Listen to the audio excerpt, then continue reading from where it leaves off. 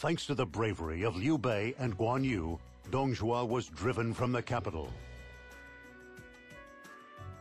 In his new capital of Chang'an, he soon found himself betrayed and murdered by his retainer Lu Bu. Finally, the gales of tyranny had been expelled from the capital's hallowed confines. However, the damage to the imperial court's authority had been done, and the land returned to the chaos of countless warlords vying for power. There was one man who was left behind, cut off from the raging storm. It was Liu Bei, who despite his deeds in the battle against Dong Zhuo, still had no land to call his own. And so he sought the aid of an old friend, Gongsun Zan. For no matter how Liu Bei tried to rescue those around him, the land as a whole would not be healed. Despite his doubts, he could not give up on his desire to help the people. It was then that a request for reinforcements came from Tao Qian of Xu province. Gongsun Zan dispatched Liu Bei and his sworn brothers, as well as his own lieutenant, Zhao Yun. Their foe was a man who was attempting to use the chaos to further his own ambitions. He was the one known as the hero of chaos, Cao Cao.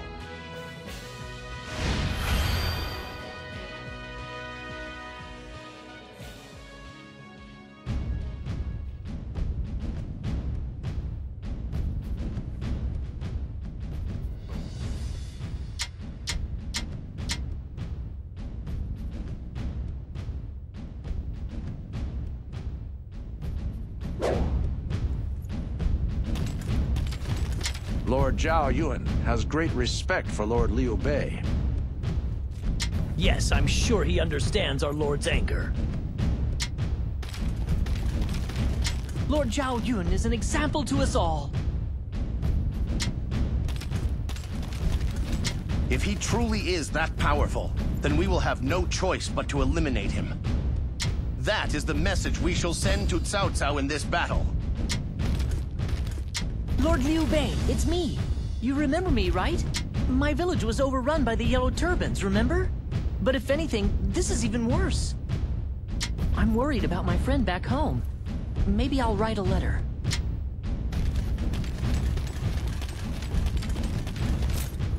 Cao Cao's a monster. My family, they're... they're... Uh, please, just leave me alone. His family was killed in front of his eyes. Just leave him in his grief. This well's useless now. You want water? Sorry, it's all dried up.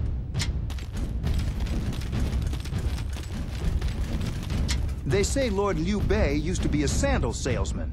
That doesn't sound right.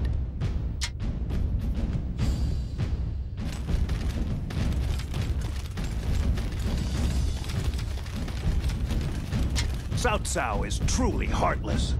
To have wreaked such destruction in such a short time. Lord Guan Yu is so calm.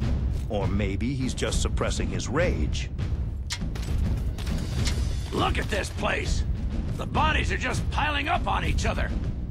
It's as Lord Tao Qian said. Cao Cao's army is nearly invincible and shows no mercy. He kills every last one of his enemies. That is the only way he knows how to fight a battle.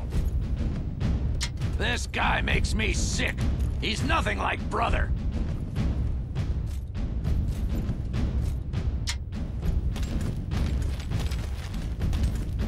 My house! Now what am I supposed to do?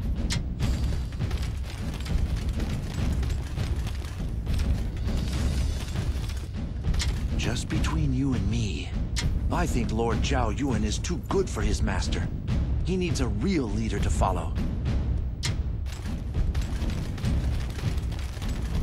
My house! Now what am I supposed to do?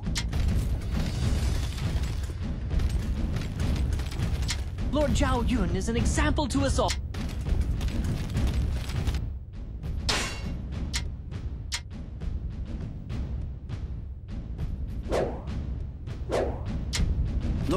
Bei is a man of emotion.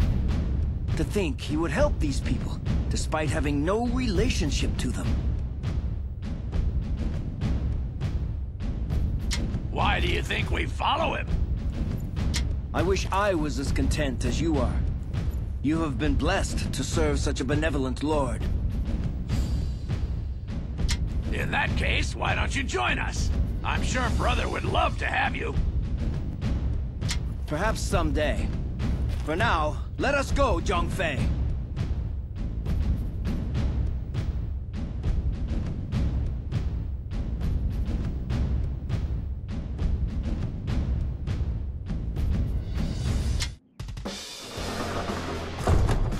I have to take out Cao Cao?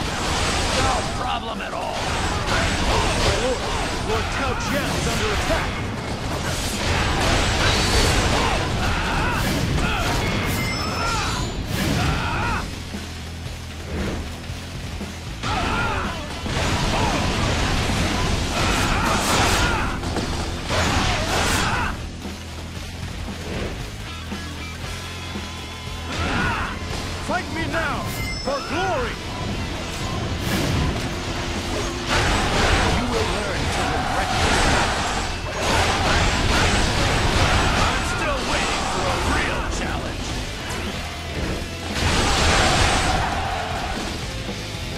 Arrival is most timely.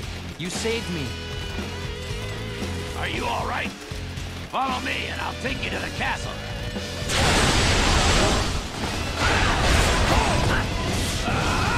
I must retreat. This is not the end. You have truly earned your reputation. Such a display will boost the morale of our troops. All of you, work together and listen to my commands. Follow my instructions and victory will be ours.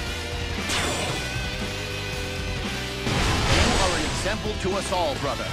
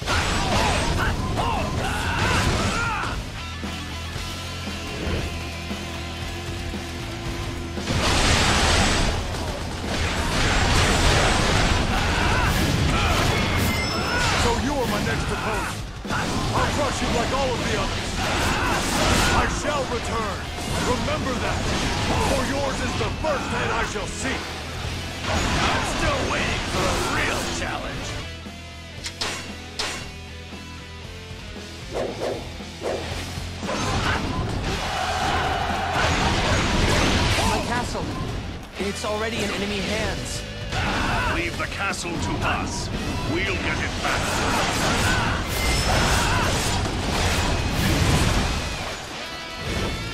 Do not allow the enemy the slightest chance. Our defenses must be watertight. A true warrior. You will carry our honor across the land.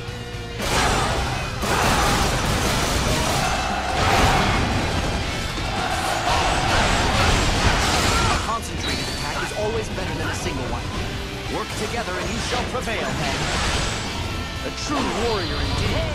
You will carry our honor across the land. Pick yourself up and try again.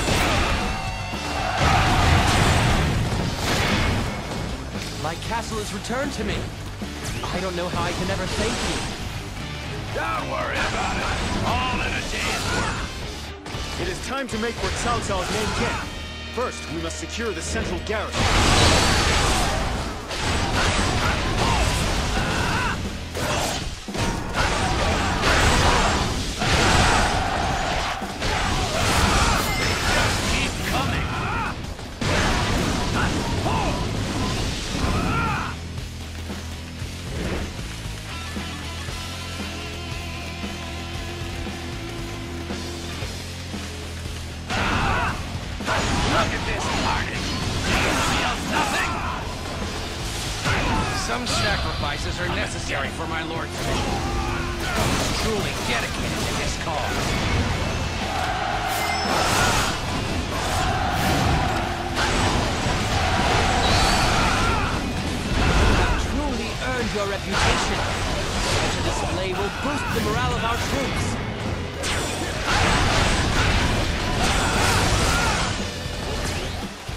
An example to us all, brother.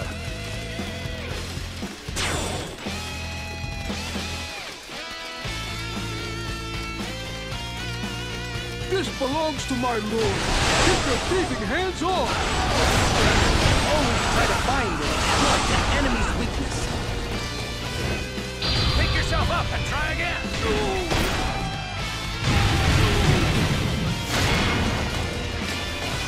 Pick yourself up Like taking candy from a baby. I will hold them back. You must find another path and advance.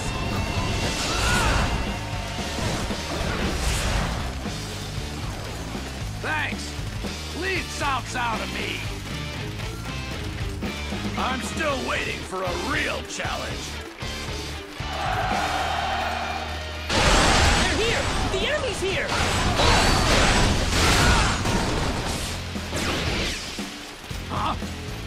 Enemy forces here too?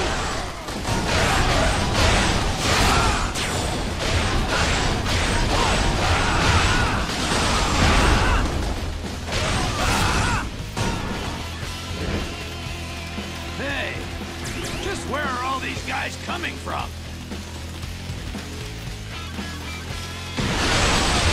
Fight me now! For glory!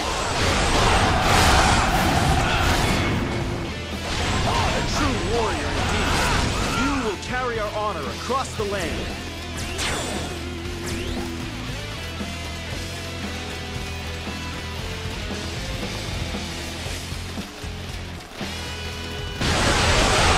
Pick yourself up and try again. To retreat is not necessarily to lose.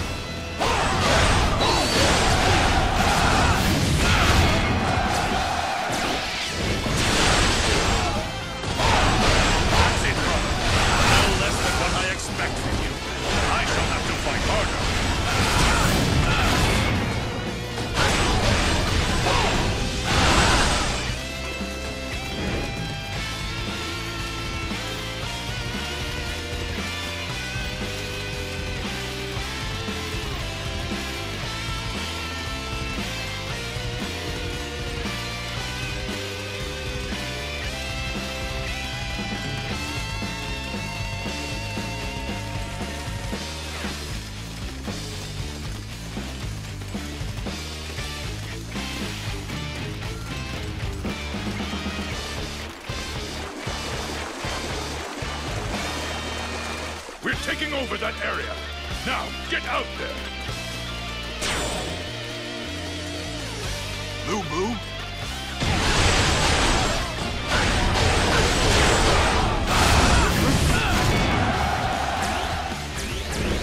What's Lu Bu doing here?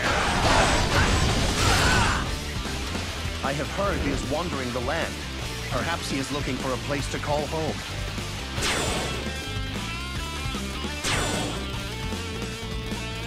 Oh, you're good, but I'm better. What?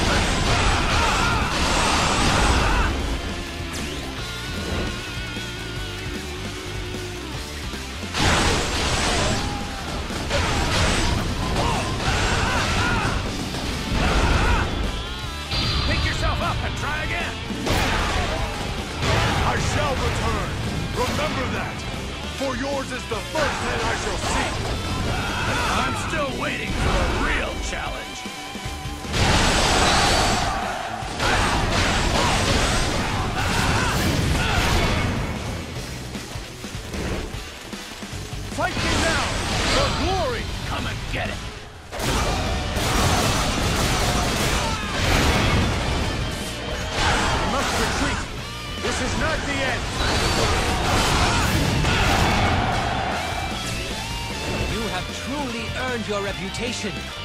Such a display will boost the morale of our troops.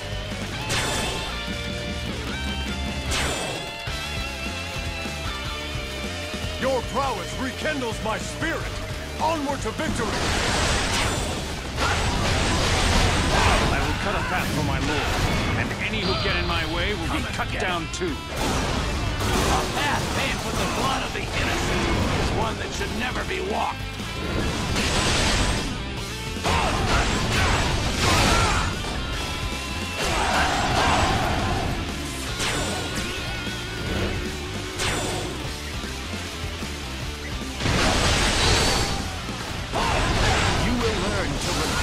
Moment.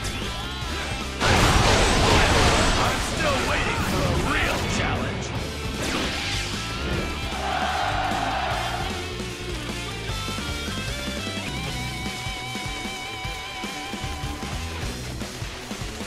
So you are my next opponent! I'll crush you like all of the others!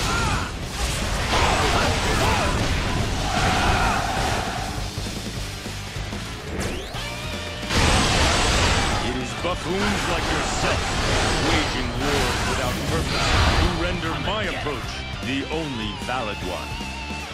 You think you can just bend this land to your will? Try it with me, then. We'll see how far you get. Retreat! Retreat! Get out of here! Lord Liu Bei rules this land now. You can't ride roughshod over it anymore.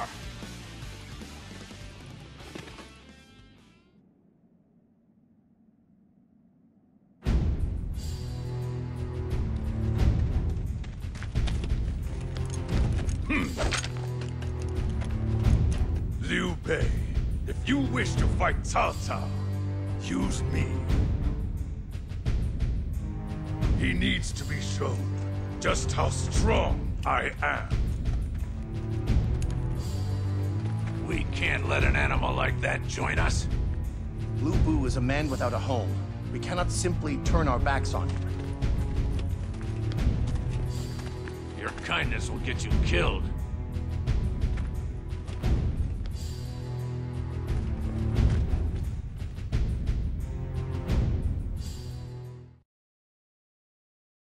Liu Bei and Zhang Fei earned a hard-fought victory, successfully defending Xu.